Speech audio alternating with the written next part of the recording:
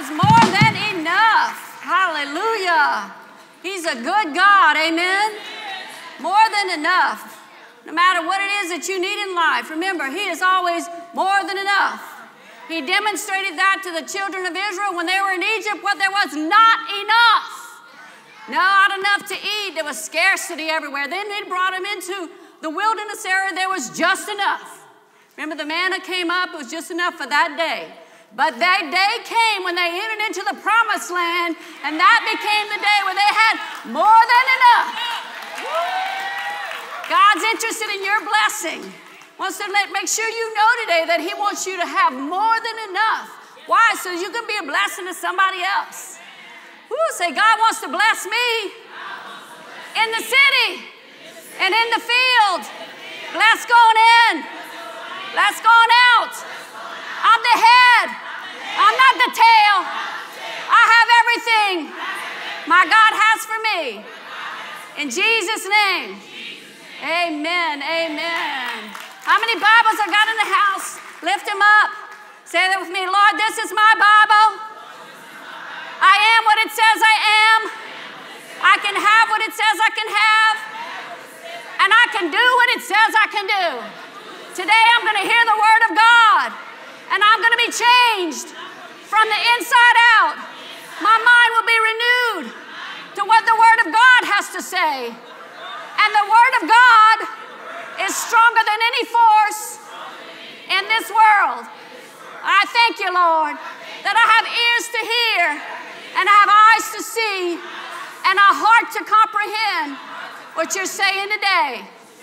In Jesus' name. Amen. Amen. Glory to God. What a blessing to know that we have God's Word. It's an even greater blessing to know that when we pray and we seek Him, He hears us. And this week, this week, the Sunday, we're going to start our new series called God Hears. And I put that on your front of your bulletin so that you would know and remember that it's so important to remember that when we, that's the reason we pray. We're not just shooting words out in the air. We pray because we have a God in heaven that hears. Not only does he hear, he responds and he acts. He responds to words of faith. Amen because your words are containers that hold your destiny and they move you toward your destination. Does anybody have somewhere they want to go? I mean, it's good. Maybe you're in a good place right now, but God always has a higher level that He wants to bring us. He wants to move us up always. He says He's the glory and the lifter of our head. No matter where we are, God always wants to move us higher and bring us up into higher places in Him. And it's so important that we have to always remember that. Amen. Turn to Jeremiah chapter 1 for today's message. Jeremiah chapter 1. This morning I was thinking about my grandmother who lived to be 104 years old. Precious, precious grandmother Cora. And I was just thinking about the day that the whole family gathered together in Grand Caillou, Louisiana. That's right uh, in Terrebonne Parish. How many people know where Grand Caillou is? It's sort of south of Houma.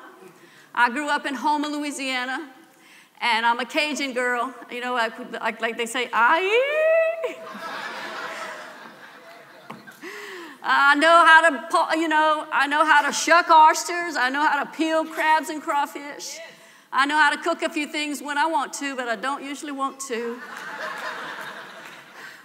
I'm real good at, at making reservations and, uh, and warming up stuff. After you leave the restaurant, you have leftovers, you got to be able to warm it up. But my, my grandmother, Cora, was a great cook and a precious woman. I remember we had her, her celebration. They rented the, the, the center, the hall, because we had a huge family at that age. She had like, I think, seven children. Was it seven, Christine? Seven children. My father was her oldest child.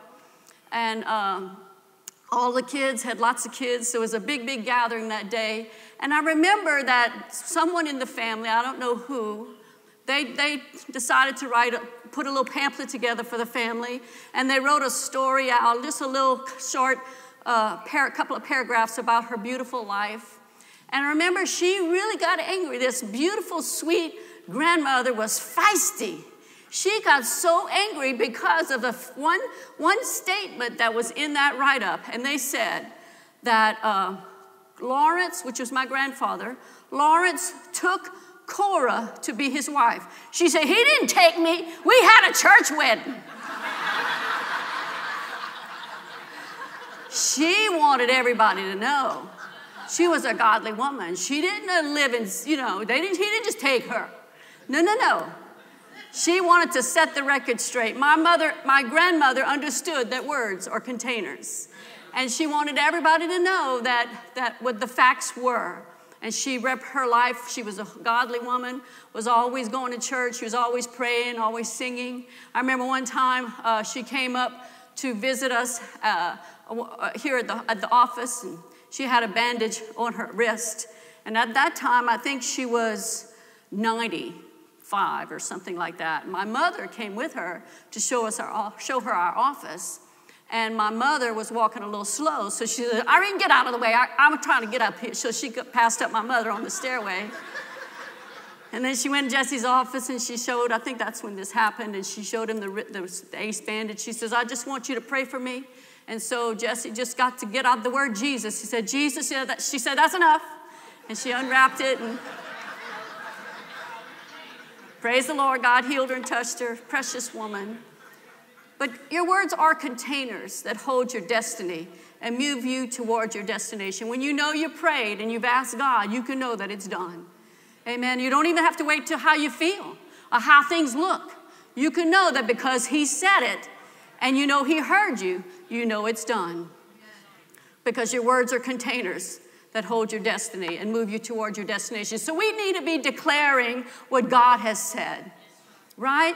We need to be speaking and saying what He says. Why? Just because so that it'll get into our heart and, and it'll go, come out of our mouth and then go back in our ears. And we could hear what God has really said about it. Because why? We live in a loud world.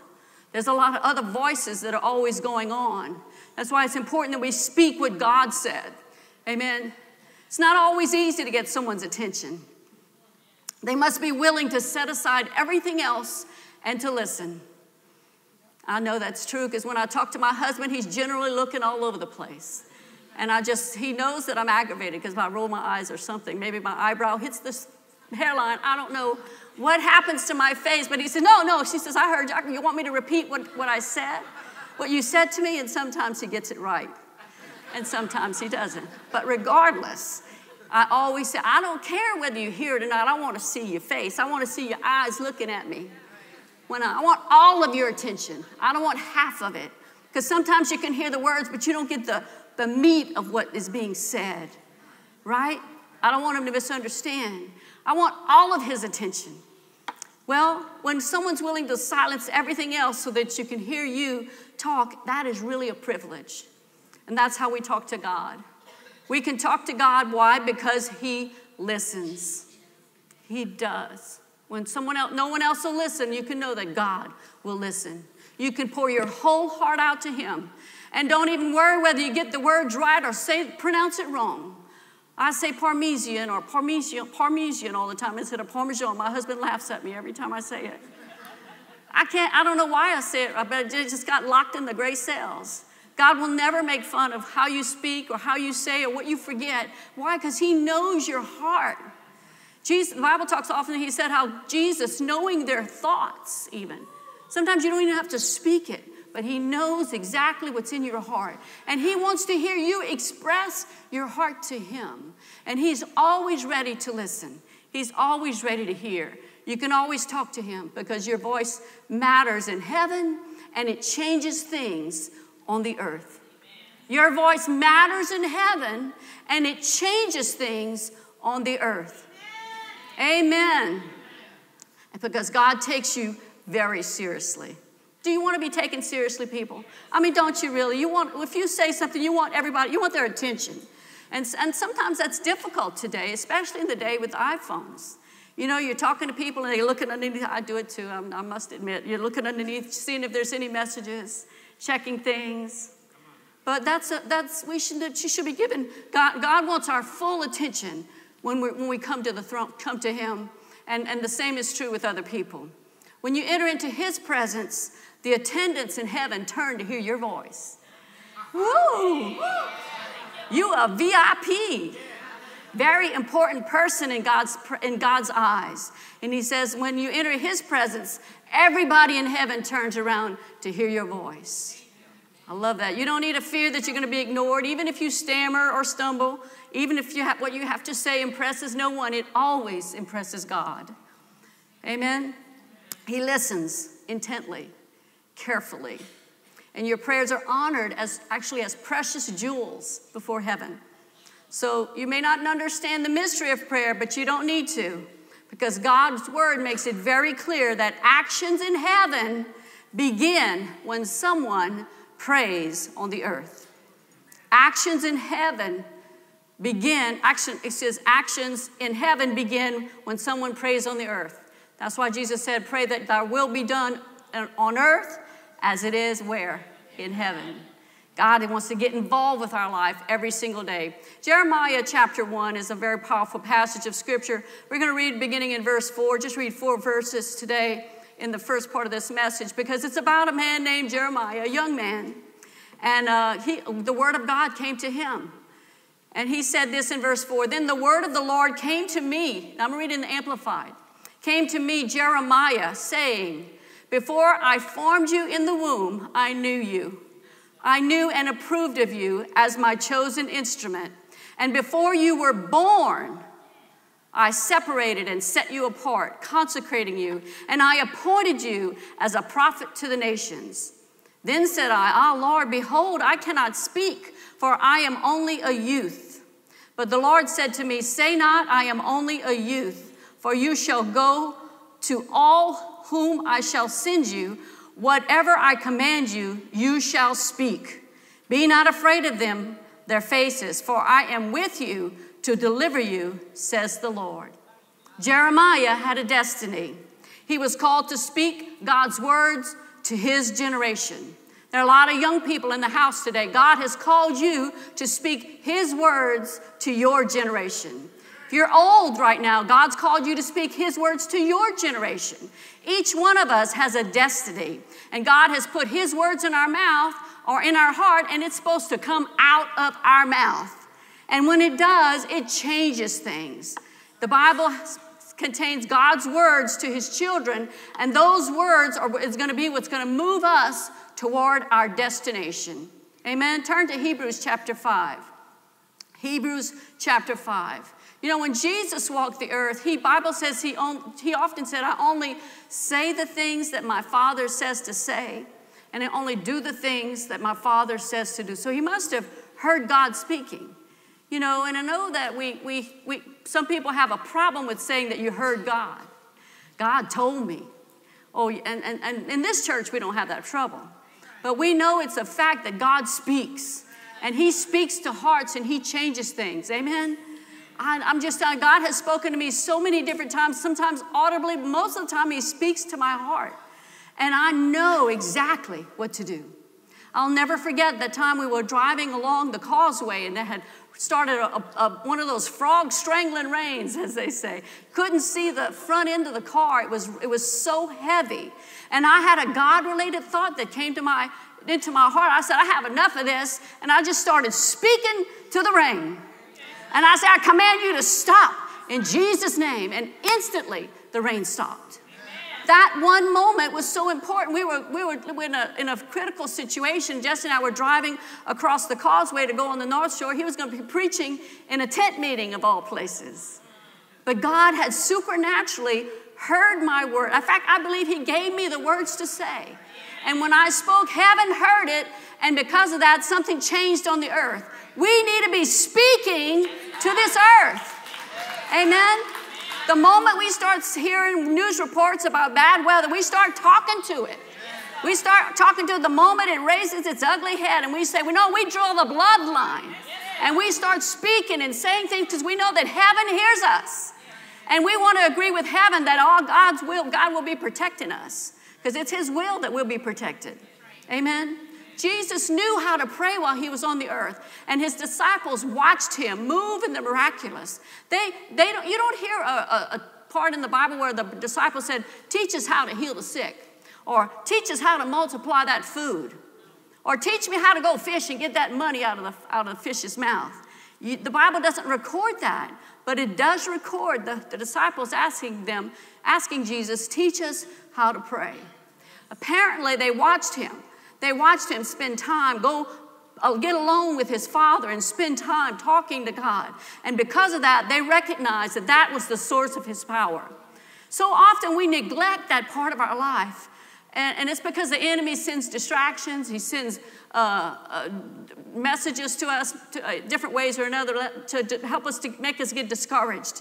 But God wants us to brush off brush off our, ourselves and, and, step up right into the in the front and pray exactly and, and stay firm in him amen, amen. hallelujah, hallelujah. y'all you're so powerful in heaven heaven heaven right now is listening to the words that you're saying when you say amen he said look she's getting it if you say hallelujah they say oh look he's got it too and, and i like it too when you respond to me God loves it. Hallelujah. Let's, this is not a spectator thing. This is, we participate with heaven. Amen. And all of us go a whole lot farther when we connect together. Yes. Hallelujah. I love it. Hallelujah. And Jesus was such a powerful man. In Hebrews chapter 5, are you there? I love it what it says in the Amplified Bible. It says, In the days of his flesh, Jesus offered up definite, special petitions for that which he not only wanted but needed, and supplications with strong crying and tears to him who was always able to save him out from death. And he was heard because of his reverence toward God, his godly fear, his piety, in that he shrank from the horrors of separation from the bright presence of the Father. Notice that God uh, heard Jesus, and, and Jesus offered up special uh, definite petitions, not only for what he wanted, but what he needed. So he was always having a dialogue with God every time, no matter what he needed. I love the, the message translation of Matthew chapter, uh, Mark, excuse me, Mark 11, 24. It says, That's why I want you to pray about everything, small and large. Pray about everything because you will get God's everything. Amen. So we need, don't need to leave anything on the table. We need to just talk to God about everything. Amen. And put it in, at His feet. And we don't need to carry the care of it, but we can know that He will hear us. And because we know He hear us, we have it. Amen. Uh, let me see where we're at. So the word doesn't say that Jesus' prayer was heard because he was the Son of God. It says it was heard because he of his fear or his reverence for God. So, what that means is you know that God Himself can handle no matter what it is that you come across. Amen. So that's what it takes. It takes faith in what God has said so that you can pray and touch heaven with your faith. Bible says that faith comes by hearing and hearing by the word of God. So the more of the word of God that we hear, the stronger our faith will become. Amen. So that we can appropriate and grab hold of everything that God wants for us. We don't need to be playing around, right, man? We need to get back, get right into the forefront of what God is doing and begin to speak to non existent things. Talk to those mountains. Talk to the sickness. Talk to the problem. You know, that's a faith project. And when you do that, you can change the situation that you're going through on the earth. It may not come overnight. In fact, usually it doesn't, but it will begin. And God, heaven is looking to hear your voice saying what you want how many people have that want list? Don't forget to keep looking at that want list. How many people have actually scratched off something that was on that want list already? Look at this. Half of the church has already been scratching off some things. I have too. God has done some, and I have more on my list. In fact, I keep adding to it.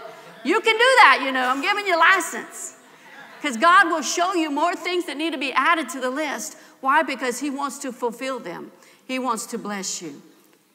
When speaking about prayer, John Wesley said, It seems God is limited by our prayer life, that he can do nothing for humanity unless someone asks him. Isn't that something? You know, it's hard to, difficult to think that our Creator is limited by the creation, but that is so true because that's just the way God created it. That's the rules that He set in place on the earth and he gave authority to mankind in the earth. So we have authority in the earth, and he wants us to exercise that authority and enforce his word right here on the earth. Amen. You've been deputized, whether you realize it or not. Deputized. You are an honorary deputy of heaven. And God is listening and wants to hear what you're saying about your situation. Many of you are in a strategic position right now, and you may see things that no one else will ever see. In, unique to your situation, or unique to your family, or to someone else. And when you hear about things, it's not just so you can hear it and put it on the shelf, you hear it so that you can pray about it, so that you can talk to God about it and see it changed. Because the Bible tells us that, that we can pull down strongholds. Amen. We can cast down imaginations and every high thought that exalts itself against God, no matter what's going on. If it's, in, if it's a problem in your school, it's a problem at work, it's a problem in your checkbook, it's a problem in the house, a trouble, a problem in the weather, no matter what the problem may be. We know that we can go to God and He will hear us. Hallelujah. I don't know about you, but that gives me great comfort. That gives me, gives me great incentive to stay on my knees to keep praying. I don't always pray on my knees. Sometimes I pray sitting down in a chair. Sometimes I pray walking up and down the house. Sometimes I just pray in the car. Sometimes, no matter, I mean, there's no limit. I remember hearing the story about John Wesley's wife. I think his name, her name was some, some great uh, evangelist's wife, and she had like 12 kids. She couldn't hardly ever find a, a moment alone. But they said that she would put her, her apron over her head and she just pray right there. You can find a place to pray if you really want to. If you really don't care what other people say, you can find it anywhere. And just pray and talk to God and knowing that He will hear you. Not only will He hear you, He will answer you. Found so many great verses about that. Psalms 80, 78, verse 41 says, no, that's a different verse, excuse me. Psalms 145, verse 18 through 19 says, The Lord is nigh unto all them that call upon him, to all that call upon him in truth. He will fulfill the desire of them that fear him. He will also hear their cry and will save them. So God will hear your cry. He will give you, he will deliver you from trouble. He will deliver you from whatever it is that's giving you a problem. But we need to first cry out to him. Amen. You know, it's so amazing. There's things in the Bible that tell you about doing that. So you say, well, God knows what I need. The Bible says He knows what we need before we even ask. So you always think to yourself, well, why do I need to even ask? Because God wants to be invited. You ever invited somebody to your house and uh, they came and uh, they felt so at home? Didn't that make you feel good? Well, they sit down and they just comfortable. But if they come in through the door and they just like, it looks like, like they're not sure if they want to be there, it's different. If they're hesitant or it looks like they're, they're looking at their watch or they're looking at their iPhone and they're ready to, to leave. But you want somebody that comes in there that's comfortable and ready to stay and enjoy themselves. Of course, you want them to know when to go home, too. Uh, my husband used to do that. We had people, when we first got saved and we lived in this little tiny house in Houma, Louisiana, I remember people would come over from the church and visit, and sometimes he just was ready for them to go. And he had a unique way of telling people when it was time to leave. He would say, Well, let me let you go. and everybody would just kind of look at him, and he didn't even get it.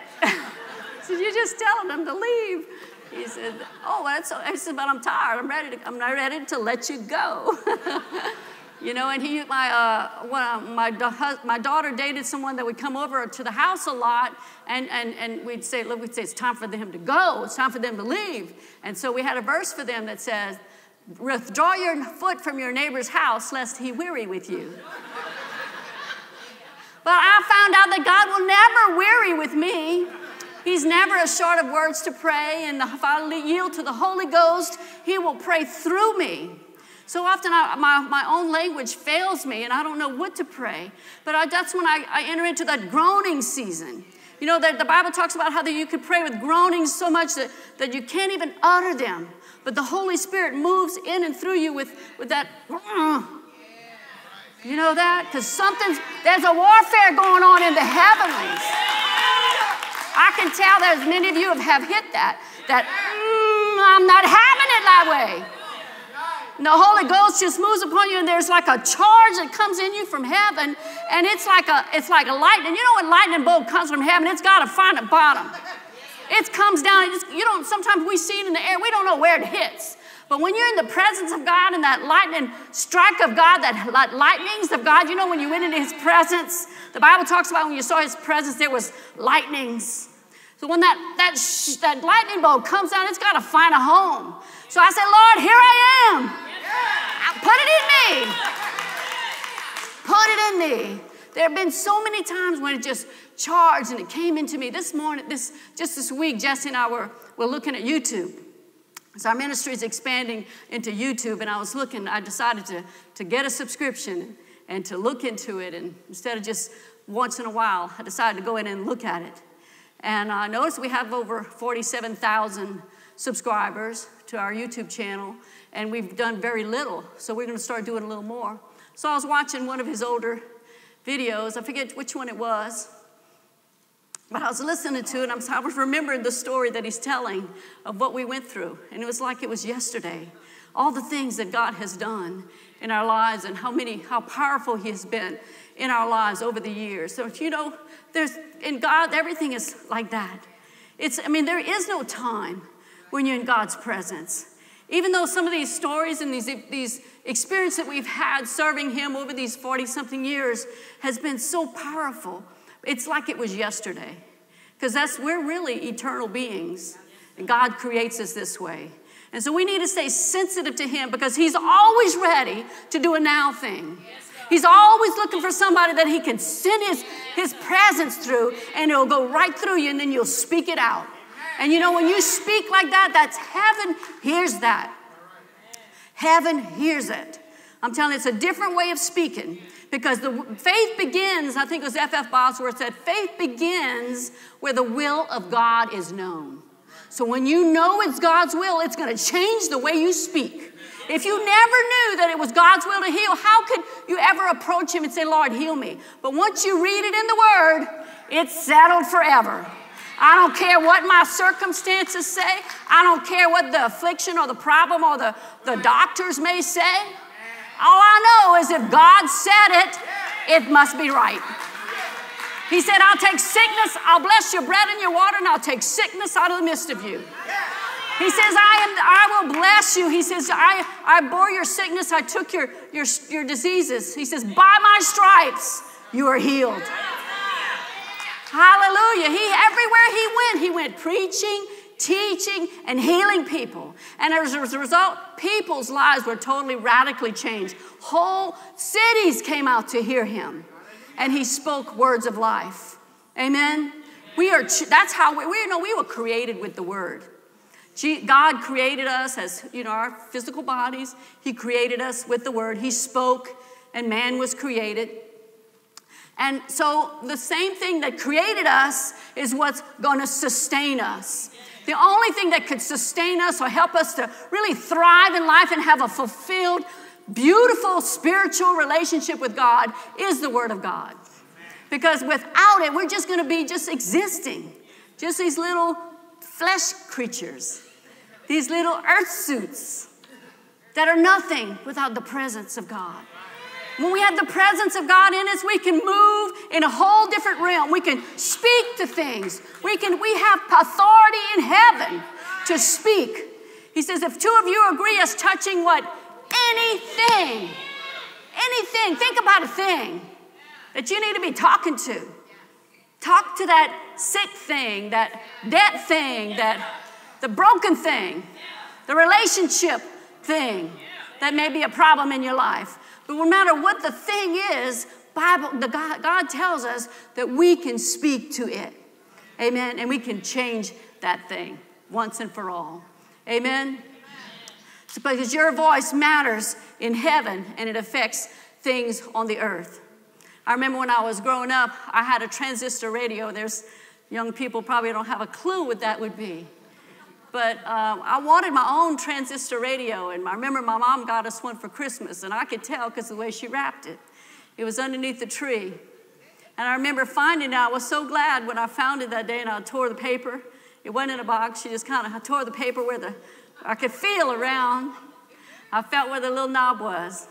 So I turned on the power and I felt another little knob and I tuned it in. And I could hear, hear the, and I was so glad that she'd put the batteries in it already. now we don't have that today. We all have iPhones and all kind of other stuff. But back then, in the olden days, I had that. I remember going to bed a few nights, even before Chris. I think she knew what we were doing. She was just glad we liked it. She was happy that we were enjoying it, I'm sure, I think. anyway, but uh, it, was a, it was a transistor. What the thing was that you had to,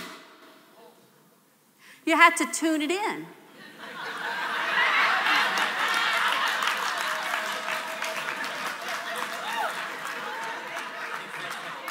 That's how it was in the old days. Sometimes you got static. And you just had to fiddle with that little button a little bit. Sometimes there's interference when we're, when we're seeking God about some things, right? And we can't give up just because there's a little interference, a little static on the scene. You got to just take, just listen. You just have to just make that little adjustment. Sometimes we, we have forget to make the adjustment, we just walk off. It would have been pretty funny if I'd have just walked off because that little came across. No, I'm not finished. I got, I got more God wants me to give you. Well, God has more He wants to give you. And when the interference comes and when the static of life comes to try to distract you off of your purpose, you need to just stay tuned in. Stay tuned to heaven because, yes, because heaven's sending out a strong signal. I'm telling you what, it's pumping out from heaven, it's going out onto all the earth. His word's going out into all the world. I mean, it's still, it's like this huge echo in the earth. He's still, he's sending it out there. He's just looking for some receivers. He's looking for somebody to say, Lord, here I am, use me. Amen. The Bible says the eyes of the Lord run to and fro throughout the whole earth so that he may strongly support those whose hearts are completely his. God's looking for hearts that are completely his. And when your heart is completely his, you're going to be talking to Him. And He's going to hear you because you're going to talk in faith. And when you do that, lot, things change. Just recognize that it begins to change from that moment. You may not see it in the natural yet, but if you keep on walking, you're going to get the result that you're praying for. Amen. Because nothing's ever impossible. Amen. Give the Lord a great hand clap. Hallelujah. Turn to John chapter 5. 1 John chapter 5. 1 John chapter 5. God's looking for some receivers. And you know what? He's always tuned in. He's always got the on button on. There's always got the notification button on. I know that when I come up to speak, and if I'm using my iPad, I always make sure I put my little button on uh, airplane mode, because that way I won't get any interruptions while I'm preaching. I, I don't want any interruptions. So there's times when you don't want any, but God's, His, His notification is always on. Because when you call and when you cry out to Him, He's always there. He's always listening. And we need to, I know you have heard this, but you need to be reminded. Because if we know He's always listening, then that changes our perspective. If you know He's always there, his receive, He's always on, His notifications always on, it's going to cause you to speak up and say whatever it is that's on your heart and cry out to Him. Because your voice matters in heaven and it affects things on the earth. First John chapter 5 verse 14 tells us it says and this is the confidence that we have in him that if we ask anything say anything according to his will, he heareth us. Think about that. Anything. Jesus said, If my words abide in you, you will ask whatever you will, and it'll be done for you. So once we get our hearts right with what God wants, it's we're on a whole different playing field. This is the confidence that if we have that we have in him that if we ask anything according to his will, he heareth us. And if we know that he hears us, whatsoever we ask, we know that we have the petitions that we desired of him. Think about that. If we if we know that he hears us, Hallelujah. Right? If we know that we know that we know, that we know that we know, it's a settled fact. I know He hears me, so therefore I have whatsoever that I asked Him. Right? Whatsoever. That's that's everything. Everything. God didn't put a limitation on it. We put a limitation on ourselves. You know, because he says, Whosoever will, will ask him can get it. So I like to say it this way I'm a whosoever, and I'm going after my whatsoever. And I believe I'm going to receive it. My, some of my whatsoever is you. I'm calling you in. I'm calling you to be stronger in God, to grow in Him, to have every need, every desire, every vision you have, every want on your list to come to pass. I pray for you every single day because I love you and I want to see you grow and get stronger in God. God loves you. And there's no no way that he could stop loving you. Even when you don't get it right, he still loves you. But he wants you to get it right. And he can help you to get it right when you look at him and you keep your eyes focused on Him. Amen? This is the confidence. That means the assurance, the settled fact. I know with confidence that if I would call my mother today and I said, Mama, I feel like eating a shrimp stew, she'd be hitting the pots today.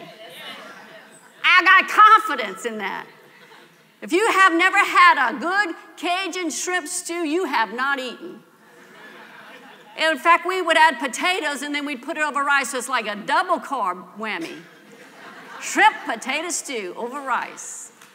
A lot of great Cajun dishes, but she just had a, a, knack with knowing how to fix it and the flavor. I can taste it now. But I have confidence because it's her desire to do me good. She wants, if that's a whatsoever, and I, I called and asked her, she would do it. Now, that's my natural mother. My Father in heaven has an even stronger desire to meet every single need we could ever have in this life. He's just looking for some, some whatsoever, some whosoever's to speak up and say whatsoever it is that's on your heart. You know, it's like packages are up in heaven. I mean, there's all these gifts that God's already prepared. He says that He's already given us everything that's needed, everything that's necessary to live godly lives have already been given to us. It's our responsibility to open them up and take it out, like I did with that, that transistor radio. I took it. Mother didn't even get mad. God's not mad when you reach out and grab something that's already yours, that He's already prepared for you. It belongs to you. Amen. I think God is ready for us to raise up, rise up in our hearts and ask big because He wants to give big. Don't put any limitations on your asking and no limitations on your receiving. Amen. I'm going to read a couple more final verses. Psalms 18, verse 6. You don't have to turn there. It says, In my distress, I called upon the Lord and cried unto my God. He heard my voice out of his temple, and my cry came before him, even unto his ears. I love that. Verse th- Psalms 34, verse 17 says, The righteous cry, and the Lord heareth, and delivered them out of all their troubles. There's several places in the Bible where you hear that. Well, if he will hear them, why won't he hear you? Why won't he hear me? We need to believe that God will hear us the same way that he heard those that cried out. The same way he heard Moses, who when Moses cried out to him, he, and he, the same way he heard even Jesus, because the Bible tells us that, that God loves us as much as he loves Jesus. That's hard for our natural mind to comprehend, but his very own son, he loves us the very same way. And because he loves us, he wants to bless us and give us everything that we need to live in this life.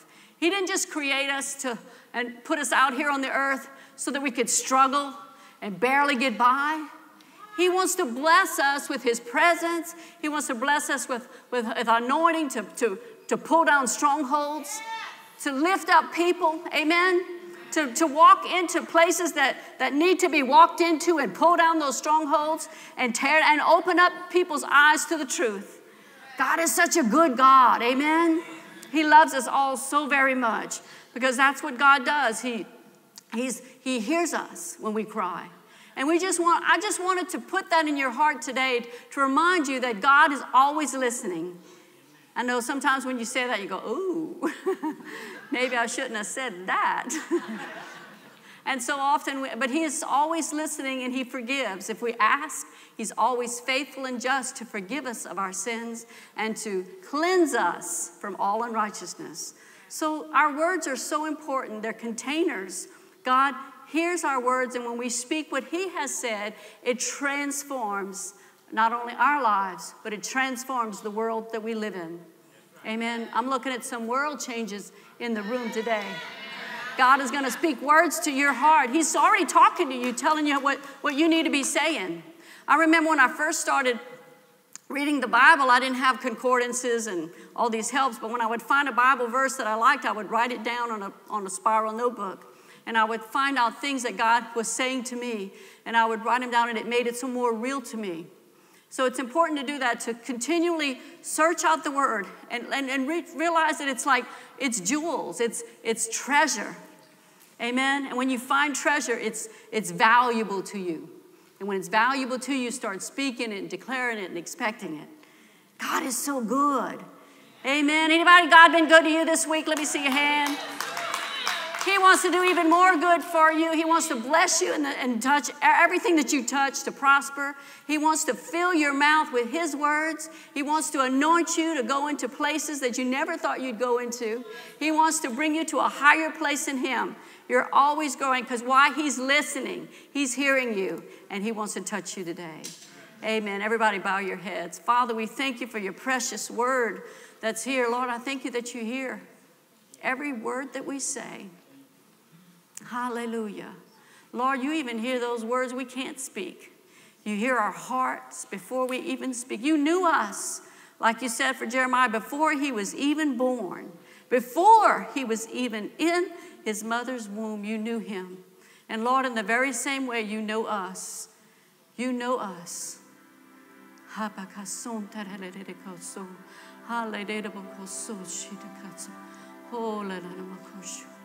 Lord, I thank you. You know before we even ask what we need. Lord, now we ask, Lord, we ask for your presence to dwell in this place in every heart. Hallelujah. Lord says there's going to be a new level of hearing in this house. He says, Because you know that I hear you, because you know that you know that you know that I hear you. Hamasuko, I'm going to open your ears and your spirit to hear in a, in a higher level. So refining process. He says there's a refining process. He's removing the distraction removing the distraction right now. Some of you have been trying to hear from heaven, trying to figure out what's been going on, and you could not, you can't hear, you can't understand it. But God says He's removing that distraction. Because He says, I know the my, I know the plans that I have for you. He said, God knows the plans that He has for you. He says, they're not of calamity, He says, but He wants to give you a good end. He has a good plan for your life. The distractions have come in and pulled you off course. But God says He's removing those distractions. He's going to show you, He's going to speak to your heart and show you exactly what needs to be tweaked, what, where the little the little knob needs to be moved, where the refining has to happen. He. He he's fine tuning you right now. You won't sin in the name of Jesus. Lord, I thank you for oh a divine deposit.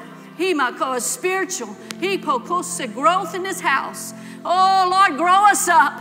Hallelujah. Grow us up, oh God. Eh, so, Lord, that we won't be affected by just things in the natural, but Lord, that we'll hear with our spiritual ears. That we won't be discouraged when we hear things in the natural, because we'll know our hearts and our spirit what you're really saying. And Lord, I think that when we begin to say what you're saying, lives are going to change. Our lives are going to change. Supernatural restoration begins right now in the name of Jesus.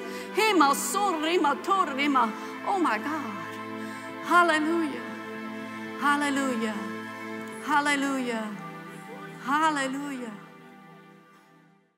Hi, I'm Cathy Duplantis. Thanks for watching our YouTube channel. Remember to subscribe and hit the notification bell to stay up to date with all things Jesse Duplantis Ministries. God bless.